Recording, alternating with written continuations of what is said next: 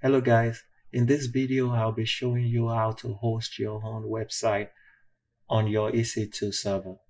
So I have my website folder and the files on my local computer which is right here. And when I open that folder I have my index and all the CSS, JS and files that goes with this website. So I'll just launch this website now just for you to see and you can tell that I'm launching it from my local because it's showing the address over here. So now I want to get all these files on my EC2 server to be able to launch it. I downloaded this just to give him credit. I downloaded this website from this guy's um, webpage. He has a bunch of website over here that you can use as an example to follow along. I will include the link to his website on the description. So you can go download any of this template just to follow on with this example. So I have my website folder here with all my files in it. The first step I need to do is zip this file. So this zip this folder. So I'm going to click send to zip and zip it. So now I have my zip folder in here. So just I want you to take notice of something when I click on my zip folder notice that I have another folder in there which is called velocity. And in there is where in that velocity folder is where my files are located. So we have two two folders. So we have one which is the zip and another one which is the main folder with all our files. So just keep that in mind. Um, so the next thing we are going to do is go into the management console. And under service s3 then we are going to create a bucket and upload that zip folder into that bucket. So click create a bucket and I'm just going to give it a name, uh, my web server one, two, three, four, five. So I just create any name, web, web server one, two, three, four, five. All my settings is going to be default. So I'm just going to create, uh, click create. So I click, leave it on that region and click create. So I have my web, web server bucket. So open that bucket and I'm going to upload my zip folder into it. So select my velocity zip folder and open and upload. So I've uploaded into it. The next thing we have to do is make that bucket and the object in the bucket public. So go back to my bucket, select it over here, public, edit public access setting click that. Make sure this is on check. Click save over here and in here type confirm. Click OK so the next thing we are going to do is go into that bucket click the velocity and open. I mean click it not open but on that action you want to click make public and click confirm here and we've made it public and we can tell that it is public because when we open it and when I click open it's downloading to my local computer. So that means that um, object that folder is public. Good. So that's the first step. So the next step is we want to launch our EC2 instance. So we'll go to service under compute EC2 and running um, I'm just going to launch an instance and I'm just going to select the Amazon Linux 2 and T2 micro. So everything is going to be default. So just click next, add that storage. For the tag, we can just um, add a name and I'll call it um, Velocity and create my security group. So for the security group, I already have an existing one, but we can create a new one. So the first one we need is an SSH. So that is already created for us. The next one we need is we can add a HTTP. So HTTP and from, we can add it from, our source can be IPv4 and IPv6. So we'll leave it as that and click launch, review and launch, review everything, launch, choose a key pair so I already have a key pair. I'll choose the existing one and launch my instance. So I'll wait for my instance to launch. then we can move on to the next step.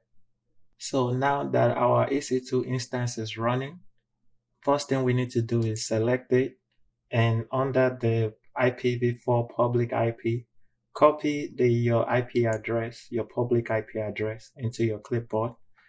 Then the next thing we need to do is SSH into our EC2 instance. So I'm using window and I'm going to use PuTTY.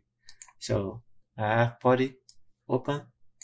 The first thing I will do is in under the session, type in um, EC2, EC2 hyphen user at and paste your public IP address that you copy in there. And uh, let me change my font so everything is bigger. So in here, you can pick which fonts you want. You can print the font type. I'm just going to increase it to 14 so you can see it clearer on the screen and click OK. Then on that SSH, click SSH, click the drop down and under the auth, I'm going to browse to where I save my key pair. So I'm going to select this key pair because you can see this is the same key pair that I'm using for my EC2 instance. Open it just to show you everything is complete. So we have EC2 user at our public IP address. We already added our key pair and click open. You get this option, click yes. So now I am in my EC2 instance. So the first thing I will do is type um, sudo su and that would change my change it to root the next thing I would do is update my EC2 instance so I click um, type in yum update minus y. Click enter. And that's going to install the patches and update my EC2 instance. Um, let me increase this so you can see. And once that is completed then we can move on. Um just give it a second. Good that's complete. So i can clear my screen. So i type in clear to clear my screen. The next thing we are going to do is install apache. So we would type in uh, yum install install httpd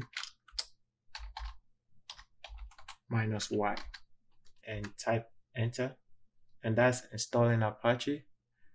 And now to know what directory directory you are in you can type in pwd and that's telling you that you are in the home ec2 user directory.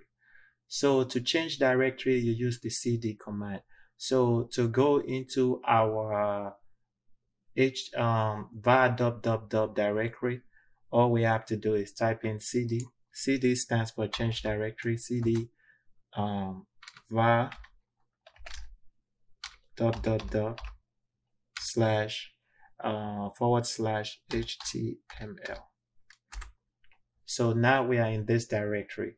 And when I type in ls, just to show us in the directory. The directory is empty. So make sure you are in your var HTML directory and type in ls. There's nothing in there. And now what we have to do now is copy the zip folder for our web our website that is on our S3 bucket into our EC2 instance. To do that, you type in w get space, then go back to your um, management console and I'm going to open this on a new tab and I will go to my S3 bucket and open that bucket, open that folder. So just copy the object URL over here. So select it and click copy. Then I'll go back into PuTTY. And so type in wget space and paste that object URL in here and click enter and that has downloaded the zip file. So the next thing we want to do, if I type in ls, you can see the velocity zip file in there. The next thing I want to do is unzip this zip file so that we can access the files in it. So to unzip it, all you type is un on zip. Then you type the folder name. So we type velocity and mine has a capital letter. So you have to type it exactly as it, how it is velocity velocity um, dot zip. So that's what you type. Whatever your folder name is, you type everything. Whatever this red thing is, that's what you type here. So we'll type that and click enter. And now it has unzip our file and you can see all the files in our folder here. So we can type in ls and we can say the unzip one over here. So the next thing we need to do is move all the files that are in that zip files subfolder into our var directory. So I hope that makes sense. So let me, so if I go back to my um, desktop just to show you what I mean. So we have this zip folder. When I click it, there is this folder in there and this folder is the same as this blue one. So now the files we are trying to get to is in that folder. So that's the next step we are trying to do. So we are trying to move all this file into our var directory. So to do that, all you have to do is type in, type in mv, mv space, then the velocity with the capital V. I'm going to type the word as it is on the screen. Vel making a mistake over there, velocity. And I'm going to press my forward slash. Then I'm going to press this sign that looks like the multiplication sign, space, and dot, and press enter. And now when I type in ls,